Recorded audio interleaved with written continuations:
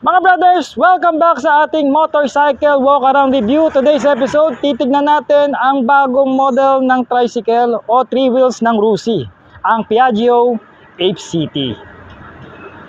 Let's go! Get ready. Drop the beat.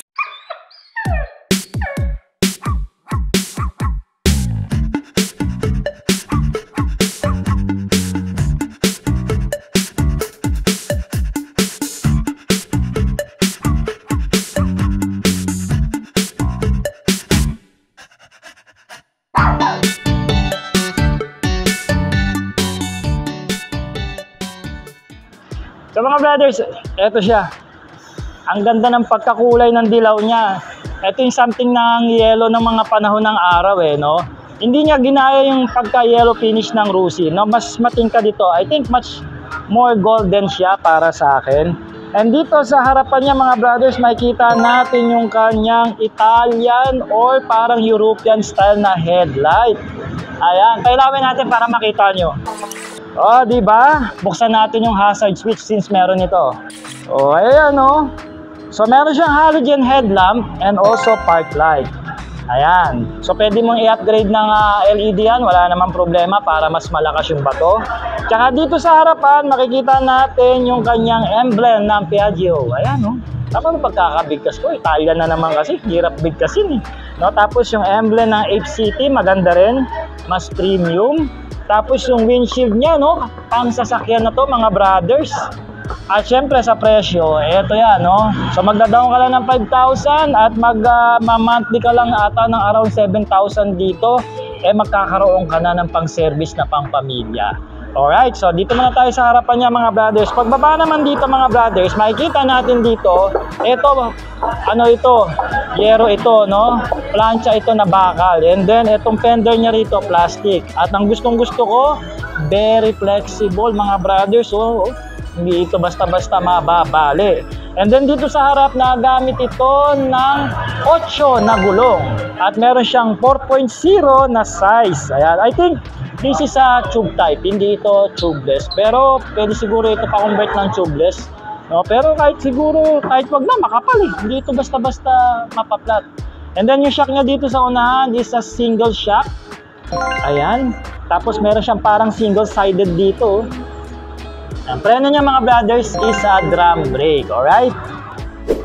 Going dito sa likod ng Ape City mga brothers, napakaganda rin ng kanyang pagkakadisenyo at napakasimple lang naman. And of course, yero talaga yung buong body ng tricycle na ito, no? Yung ilaw niya rito, yung taillight niya parang pangsasakyan na rin eh, oh.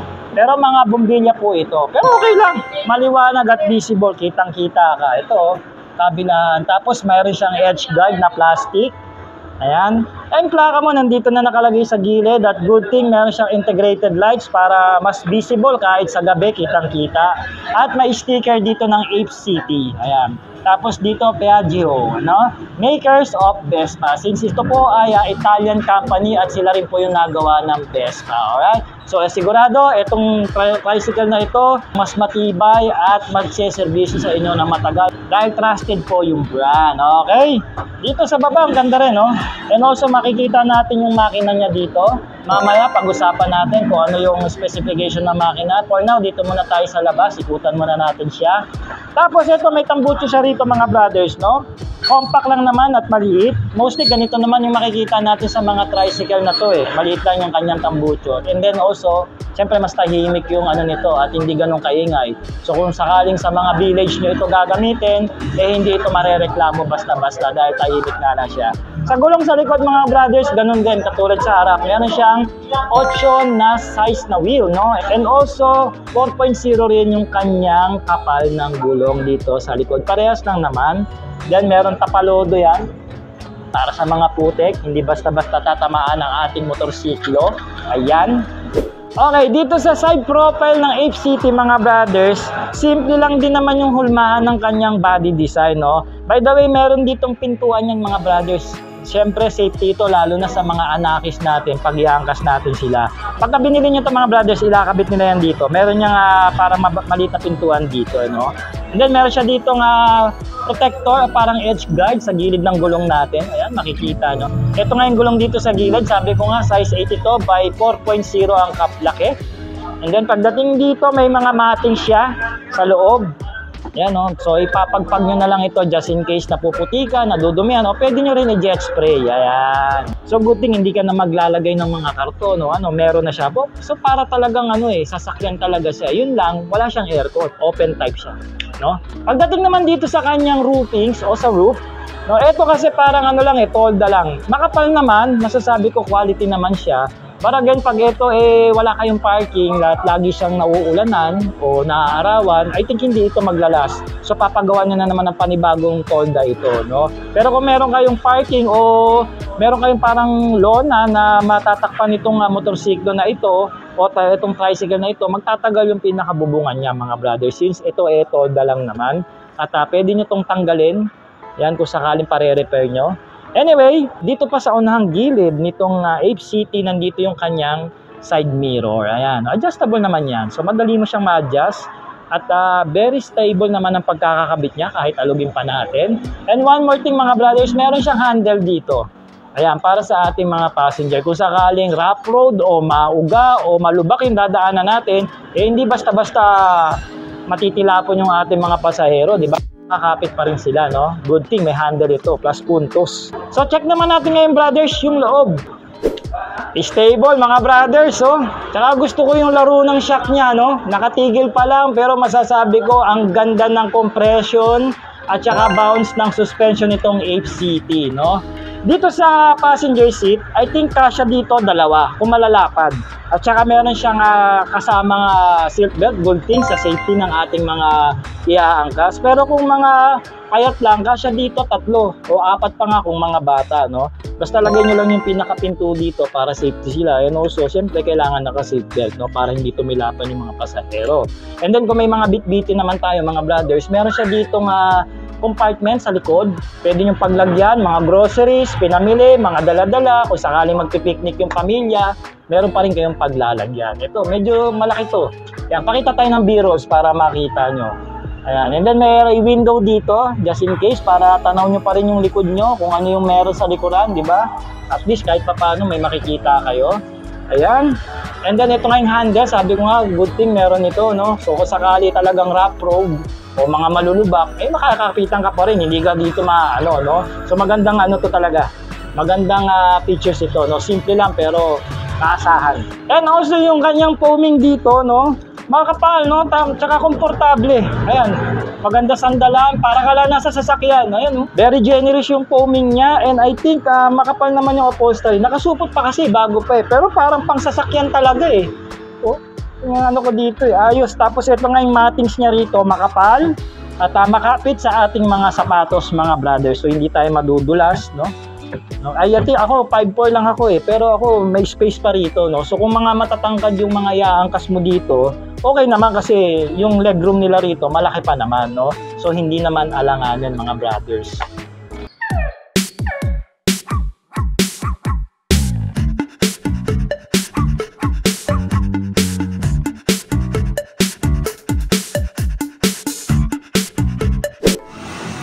Okay, sound check natin.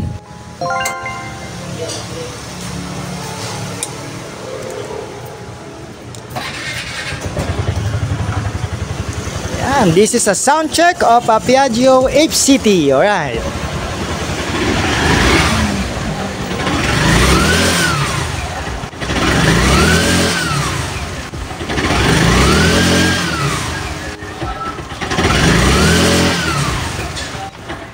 Alright mga brothers, nandito tayo sa pinaka-cockpit nitong City Piaggio. Alright, so alamin natin kung ano ang meron dito at kung ano yung mga functions ng uh, mga switches at mga kung anong mabubutingting dito sa loob. Unahin na natin mga brothers yung kanyang pagkakadisenyo. No? So basic lang naman, nothing fancy mga brothers. Meron ka ditong manibela na may kulay dilaw din. Ayan, no? pang European style nga eh, no? And then dito plastic na tong pinaka dashboard niya rito. Parang pang sasakyan pa rin, no? Tsaka ito mga brothers, uh, hindi ito yung typical na tricycle na na maneho natin sa araw-araw, no? May pagka sasakyan na rin siya, o auto yung datingan niya dito sa loob, eh, no? Pero syempre, three wheels pa rin ito, di ba? Kaya makikita natin dito, meron siya ritong kala mo speaker. But I think pwede mong paglagyan siguro to ng speaker eh. Kung marunong ka mag-repair, no? Marunong ka mag mga magbuting-ting, pwede mong lagyan eh. Pwede may abang eh, no? And then yung kanyang susian, nandito, ayan. So, on natin siya ngayon, papuntang kanan. And then meron siya ditong small compartment. I think pwede mong paglagyan ng cellphone ito eh. May harang eh, ayan oh. No? Pero parang hindi siya safe eh. Baka mamaya malubak ka, pwede malaglag yung cellphone mo. So mas maganda maglagay ka rin dito ng cellphone holder kung uh, pwede mong lalagyan. Dito sa kaliwa mga brothers, meron siyang switches. Ito nga yung ah, ilaw niya, yung headlight niya. Park light, ayan, tapos off ng iyong lighting system. No? So pag binuksan mo yung park light, bubukas na yung ah, park light dito sa unahan, then yung tail light mo sa likod. Okay? So pag binaba mo pa ulit, pati headlight kasama na. Ito yung switch ng iyong wiper. Ayan. Alright, di ba? Nag-wiper siya. Kung sakaling uh, abutan ka ng malakas na ulan, wala ka makita dito sa windscreen mo, ay wiper ka pa rin, makakapagmaneho ka pa rin. And good thing meron siyang hazard switch. Ayan, sa mga emergency parking, syempre parang sasakyan na rin ito na maliit, makakapag hazard switch ka pa rin. No? O, o mga emergency, nasiraan, etc. Di ba? Mga convoy, ayan, pwede. Yan. Sa ang good thing, kahit nakapatay yung, ah, yung ah, motorsiklo o itong ah, motor na to, eh pwede mo pa rin itong ma-switch, no? So makakapag-conserve ka pa rin ng iyong battery. At mga kaganda mga brothers, meron na rin siyang 12 volt socket dito. So pwede mo itong convert ng USB para makapag-charge ka ng iyong ah, gadgets or cellphone o di kaya naman pwede mong salpakan yung pangsindi ng Yossi kung naninigarilyo ka. Pero huwag mo nang gawin yun, masama yun sa katawan. Okay, dito sa handlebar niya naman, pagpunta natin dito sa gitna mga brothers, meron siya rito parang packets. I don't know kung ano purpose nito. Ayan, then may touch siya rito, eh, bakal to, yung kulay yellow niya rito, no? And also yung turn ng kanyang manibela matigas kasi ano to eh, makapal yung gulong and also three wheels ito eh, no? Pero kahit isang kamay lang naman, natitwist ko pa rin naman siya. And I think kung ito eh matetest ride natin o kung mapapatakbo natin, eh mas magang ito. Siguro parang steering lang din ito ng chariot kasi parehas lang naman silang size ng gulong eh, no? So yung chariot kasi for for ano yun eh, habal-habal mga hakutan. Well, anyway, balik tayo. So, ang cambio nito mga brothers, medyo maninibago kayo dahil nandito na sa mismong ah, handlebar niya. No? Pag ito yung clutch, and then pag clutch mo, pwede mong punta sa primera. Ayan. Nakita nyo?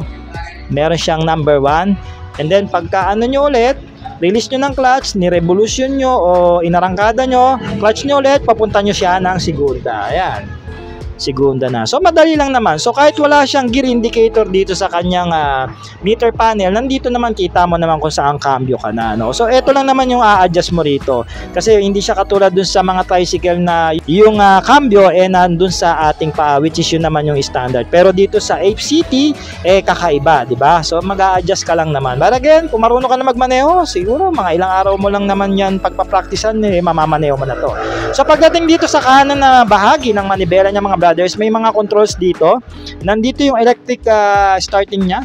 So ayan mga brothers, na-start na natin. So para ma-start nyo siya, ang pinaka-safety niya, pipigayin nyo tong clutch, tapos ipipress nyo itong start button. So hindi ko magawa dahil ah, hawak ko yung camera. So in-stop ko muna recording bago ko na-start yung motor. Pero ganun po yung ah, kanyang procedure. Okay, so nandito yung kanyang horn sa kanan, no? wala sa kaliwa. Check natin. Ba, malakas ha, pang sasakyan, pang auto. Ayan, pwede na, pwede. Tapos nandito yung low beam mo and also yung iyong high beam. So no, sad thing, wala nga lang siyang flasher o pass light. Okay lang naman, mabagal lang naman kasi ito, no? Pampamilya. Yung left tsaka right mo nandito. Ayan. Ayan, okay naman din. Madali, pagka minamaneo mo, madali lang naman yung engagement niya. Ayan, oh. Ayan, so, subukan nga natin, revolution natin. Oh, yun, oh. Okay, dito naman tayo sa babang portion sa cockpit, no. Dito meron na siyang abang para lagayan ng ating ah, tumbler, no. Inumin tubig o kape o juice kung anong gusto mong inumin, wag lang alak dahil nagmamaneo ka. Ayan, dito sa gitna, andito yung handbrake. Ito yung handbrake niya mga brother. So, tamang-tama dahil ah, parang sasakyan na rin ito, so kailangan ng handbrake. Okay, ito naman yung ah, pedal ng preno. Ayan, so ito lang naman, dalawa lang naman ang meron dito, no?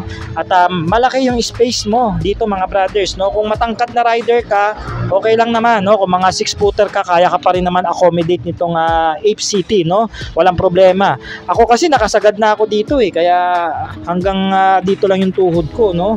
Ayan, oh. so saktong-sakto ako sa motor. Tamang-tama. Tsaka ah, yung pagka itong upuan niya mga brothers, komportable, no? I think maglalagay lang ako ng konting support sa likod, sa baba, no? Dahil meron akong ah, lower back problem. Ayan, tumatanda na nga. No? Para mas komportable ako. Pero again, yung foaming niya, very generous at malapad, no? So kung malaki ang iyong build, no? O mataba ka, pwede lang. Pwede naman dito. Ako, payat lang naman ako eh, no? So malapad pa rin yung ano, yung pwede mong upuan. I think, kung talagang ano, pwede ka pa nga magsakay, oh. Kung may sasabay, pauwi. Ayan, pwede ka magsakay kung puno ka na doon sa likod. Ayan. And then yung side mirror niya naman mga brother, sabi ko nga na-adjust ito at ah, I think okay naman, hindi naman siya hirap sipatin. No, yun lang medyo babaling mo lang konti yung ulo mo, yung mata mo para makita mo yung iyong side mirror dito sa kaliwa at dito sa kanan, okay no? So standard naman to mga brothers, papalayo naman siya. So kitang-kita mo yung ang iyong magkabilang gilid, okay? Ito nga sinasabi ko, ang lapad ng kanyang windshield. Ayan, so good thing nilagyan dito na sticker. So parang pinaka-visor na rin ito kung sakaling tirik yung araw na nakatutok sa'yo habang nagmamaneho ka. Pero mas maganda may suot kang sunglasses para hindi ka ganon masila o mabulag. So brothers on the wheels sa presyo, ito yung kanyang details, no? And then pakita tayo ng uh, kumpletong detalye ng kanyang presyo dyan sa screen. Pero mga brothers, magda-down ka lang ng 5,000. Mauuwi mo ina itong HCT ng Piaggio, di ba? So saan ka pa? Yung ganitong pang service, pang pamilya, masasakay mo na yung mga misis mo, mga no, yung misis mo, mga anak mo, di ba? Kung may mga pupuntahan kayo, Sunday, banding, family church at mga kung ano-ano, eh hindi ka talo sa motorsiklo na ito. And also mga brothers, sa mga magtatanong kung saan to available, available na po ito sa lahat ng Rusi branches nationwide. Ayan, okay? So panoorin nyo naman kasi yung ah, ending ng ating vlog para may idea kayo, hindi kayo tanong ng tanong. Okay, so mga brothers, ganun pa rin, no? Comment nyo naman ang inyong mga opinion and thoughts dito sa tricycle na ito. Kung sulit ba siya para sa mga masang Pilipino. Pero kung ako tatanungin nyo, sulit ito, no? Kung naghahanap kayo talaga ng safe na transportasyon para sa pamilya natin, eh magandang alternatibo ito. Kasi siyempre mas masakit ang ah, gasolina o kain ng gasolina ng mga four wheels, no? Kumpara dito, eh mas matipid ito dahil 200cc lang na fuel injected, 'di ba? So tama lang naman yung speed niya, no? Hindi naman siya ganun kabilisan, no? Sabi ko nga, ito ay pang service para sa pamilya o sa mga bata. Once again mga brothers, ako po si Ike. Maraming maraming salamat po sa pagsama nyo sa ating walk around dito sa Ape City. And again, makita-kita po tayo ulit for the next series ng ating walk around review. Cheers!